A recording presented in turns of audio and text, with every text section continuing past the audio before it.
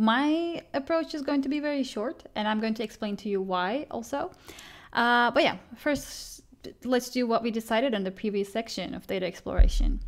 So, what we said last time was that we're going to get rid of all the negative values and also the zeros.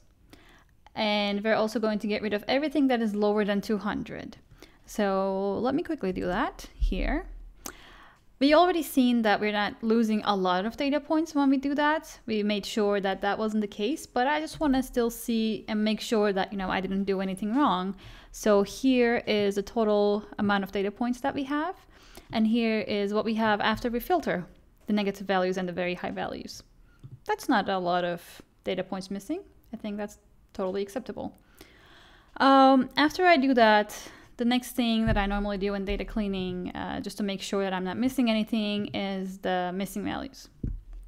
So this little comment or this little um, line of code will give us all the missing values or like the amount of missing values for each feature. And as we can see, uh, there are no missing values. That's awesome.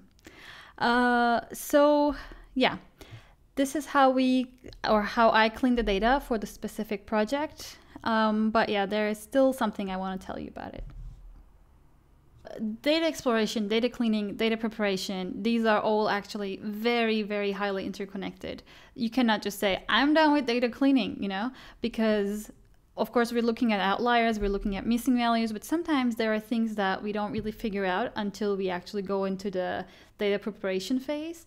So basically, just keep in mind that we will still be filtering our data uh, when necessary. We'll still be looking into uh, or keeping our keeping our eyes open for problems. So yeah, we're gonna deal with problems as they uh, come into our way. But for now, you know, the we checked the most common things and we dealt with them, and there are no other problems. And uh, that means we can go into data preparation.